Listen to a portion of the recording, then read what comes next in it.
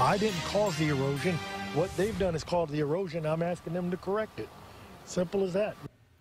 That Bay Area business owner says ongoing issues with a neighboring concrete company are taking a toll on his construction business. After months of trying to work with the company and getting no results, he turned to Eight on Your Side for help.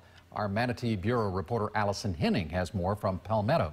The owner of Gilliam Construction bought this property about one year ago. He says this yellow marker right here is the agreed upon property line between his business and the cement company next door.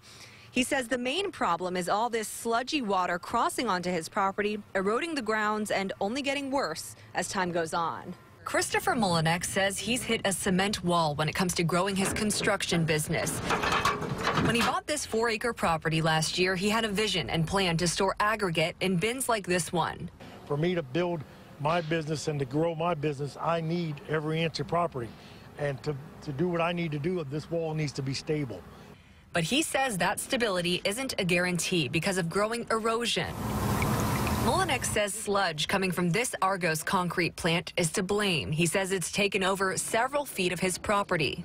Paying taxes on something that I'm not able to use that they're actually benefiting from. The Palmetto business owner has tried to find a solution on his own with no luck. More than six months have passed and I've gotten nothing from them, no, no response, no let's fix it, let's work together. I just basically want to be able to use my property. Eight on Your Side left multiple messages with the company's corporate office asking what's being done to find a resolution.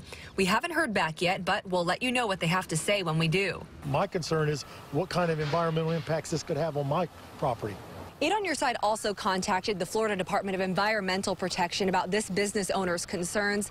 I'm told officials with the DEP will be out here next week to do an inspection. In Palmetto, Allison Henning, Eight on Your Side.